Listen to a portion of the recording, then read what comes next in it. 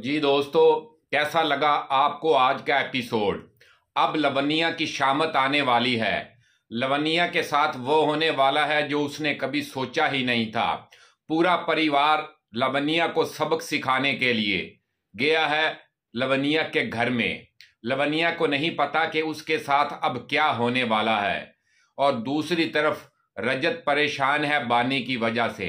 बानी ने एक बहुत बड़ा सच छुपा लिया है अपने परिवार से भी और रजत के परिवार से भी। जी हाँ दोस्तों, बानी बनने वाली है माँ, लेकिन बानी ने ये बात इसलिए छुपाई कि अगर परिवार को ये बात पता चल जाती तो ये परिवार कभी भी लवनिया के घर ना जाता। बड़ी ही ज़बरदस्त जानकारी लेकर आए हैं आपके लिए। अगर आप हमारे चैनल पर नए हैं तो हमारे चैनल को सब्सक्राइब करें, क्योंकि हम देंगे आपको बिल्कुल नई और सही जानकारी, वो भी सबसे पहले।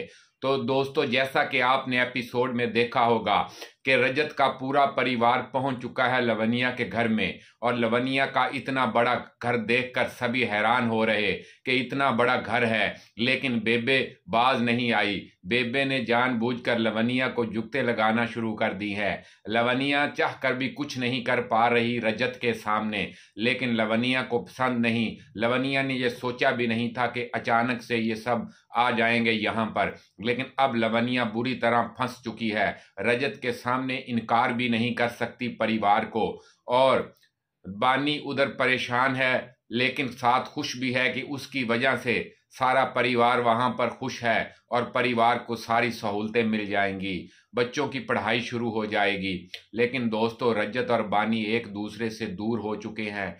कुछ लंबे समय के लिए। रजत को नहीं पता कि वो भी बाप बनने वाला है, बानी माँ बनने वाली है। लेकिन बानी के लिए अभी मुश्किलों के पहाड़ खड़े हैं दोस्तों।